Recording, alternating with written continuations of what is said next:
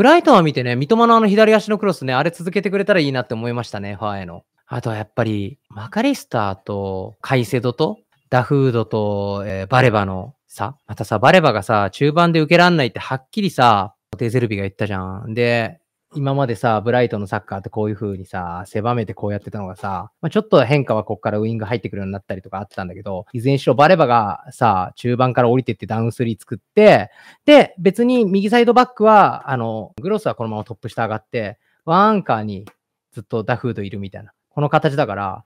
他にポイント立つとこないから、相手のウィングがここに人いないから、ここにさ、こう人いるとさ、こう釣り出されて結果、味方のウィングにパス通りやすかったりするんだけど、ここに人いなくて316みたいになってるから、結果ここが通んなくて、ここのパスの距離感は短いから、ここは回るんだけど、こっから先に行かないんだよね、ボールが。で、引っかかった時にカウンター食らいやすいみたいな。で、何よりバレバが中盤できないって言われて、落ちてくダウンスリーになるアンカーだから 落ちるタイプのアンカー落ちだから、なんか悲しく見えるっていう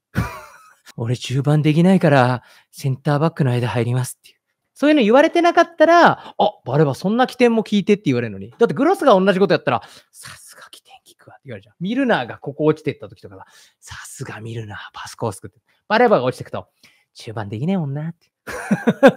悲しい感じ。そんなこと言わないでやれよ、デゼルビっていう。でも、バレバの場合は多分、練習のミニゲームで負けたのにヘラヘラ帰ってるみたいな、なんかそういう、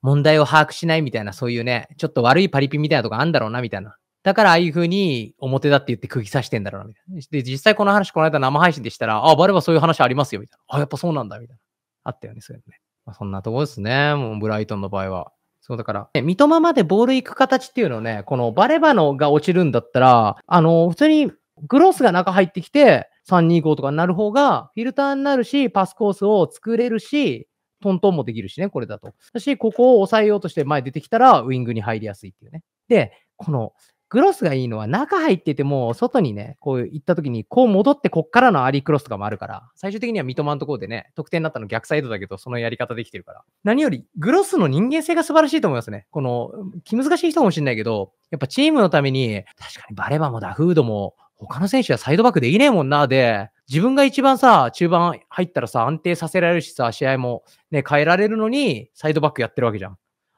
のね、グロスの姿勢は素晴らしいですね。レオさんが言ってたように、三笘フラットクラス上げるとゴールになる雰囲気すごいです。だってね、ここまでカットインしたら相手はね、ライン下がらざる得ないし、マイナスも抑えなきゃいけないし、近場の選手も抑えるだから、結果一番大外が空くから、でもあれを、あ、左足でそのフワットクラス上げれたんだ、みたいな。苦手だからやんないと思ったから、いや、できたんならいっぱいやった方がいいよって思いましたね。で、あれって、ディフェンダー下がるじゃないですか。攻撃の方の選手は、ここでクロス待たないから、こういうクロスが入ってきたときに、ポワーンってね、この時に助走をつけていくから、で、サイドバックって結構整地低いでしょ？で、その場立ちのジャンプになるから、こういうのに。でも、後から入ってくる選手はでかくて勢いつけて入ってくるから決まりやすいんですよ。で、ハーランドとかにこのやり方されると超嫌じゃん。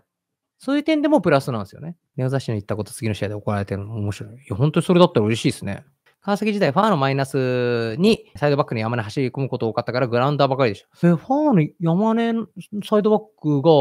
ファーでグラウンダーで通るんだね。あんまイメージなかったけど。まあ、三笘ももしかしたら不器用側に入るかもね。サイドでのボールの受け方も。表と裏あるんだけど、中入ってった時にやっぱり、中入れるタイプのウィングと比べるとだいぶ不器用ですからね。そうだ、今日のタイトルにしたね、あの、三笘の得点関与。得点とかアシスト増える方法の話。やっぱりさ、あの、あれ、センス君。ジョアン・ペドロが寄ってきちゃうじゃん。で、ジョアン・ペドロの寄り方って、ジョアン・ペドロも結構、ボール受け行くことが目的になってんだけど、三笘ここで仕掛けてるときに、相手がこういう風に寄ってるときにさ、こう空いてるんだったら、こうニアゾーンランとかしていいんだけど、こうの時もこうニアゾーンランするから、ここをこう走ってたら、もっと簡単に相手の視野の外側で受け入れるからいいのにっていうのも、パスカル・グロスはこっち走るんだけど、ジョアン・ペドロはこっち走ったり、ここで止まっちゃうっていう。で、三笘の場合は抜けるからここ邪魔になるんだよね。だから、あの、坂とかだと抜けるから、富安こっちでサポートするんだけど、腕ゴールだとこっちでサポートするんですよ。これはコンビネーションする選手とここで抜きたい選手の差で。であとはスペース作った状態から瞬間的に来て、ここで当てて落としてみたいなのは、サイド逆だけど、坂と腕ゴールだとやったりする。だこの辺が、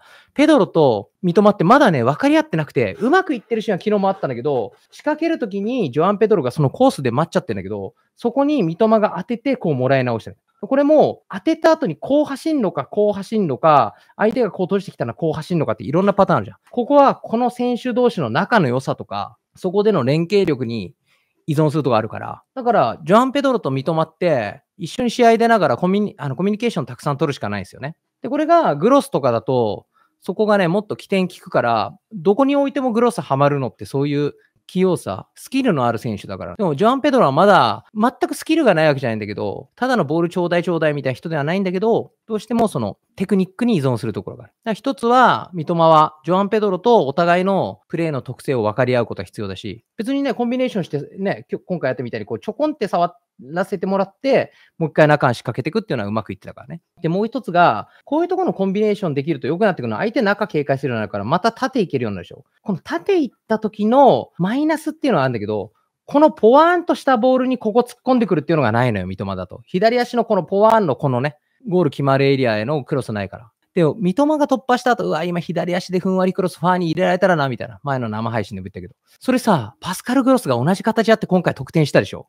だからやっぱり重要なんだよね。えぐった後ってみんな近場を抑えてマイナスを抑えるから、こういうふうに。結果ね、大外フリーになりやすくて、大外ってど、どうしても、このクロス上げる側の選手ばっか見てるから、こっちから突っ込んできた選手に対して、上から叩き込まれちゃうからね。そうだ、あのグロスがやってたことを、三笘もえぐってこう行きたいんだけど、三笘がね、前インタビューで言ってたのは、利き足以外いらないというか、利き足なくてもプレーできますみたいな。でも実際今、三笘はもう利き足が重要な状況になってきてんだよね。前ね、言ってたけど、それがもう本当にそうなってるから、そうだから今、まあ三笘とジョアン・ペドロのコンビネーション。ただ、ジョアン・ペドロも絶対的な前線の選手ではないじゃん。ララーナと交代で出たりとかさ、今日はファーガソンの疲れてんな、みたいな。だからジョアン・ペドロがまず絶対的になることが重要なんだけど、でも今後、ブライトンのメインボーカルになる人誰だって言ったら、ジョアン・ペドロかなり有力だと思うんですよ。ファーガソンかジョアン・ペドロだと思って、僕はジョアン・ペドロの方が可能性高いと思うんで、で、ジョアン・ペドロの場合は本当、ベンゼマじゃん。うまくて、センス良くて左サイド流れてくるっていう。自分でもある程度仕掛けられるみたいな。だからやっぱり、ベンゼマとビニシウスが連携良くなっ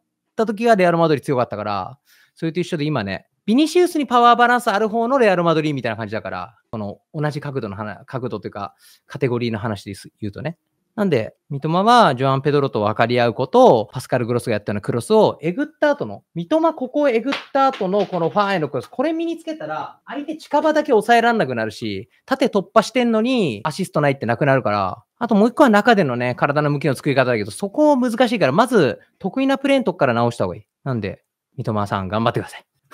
見られてる前提で。絶対当たってるから。うん。レオザなんか見てないって言っていいんで、全然。普通にやってください。絶対成功するから。そのグロス気が利くんだろうなと思うし、グロスかっこいいのがさ、気利くだけじゃなくてさ、周りがさ、もう八方下がりになってる時自分のミドルシュートでこじ開けるじゃん、今回みたいに。あれがかっこいいよね。昔のマイケル・ジョーダンみたいな。チームプレーに徹してるんだけど、もう、もうどうしようもねえって時は自分が点取りってしっかり点取って勝つじゃん。そう、グロスいいよね。え最後まで聞いてくれてありがとうございます。よかったらいいんでチャンネル登録して帰ってください。また一緒にいろいろサッカー界の話を中心に喋りましょう。レオゾフトボでした。バイバイ。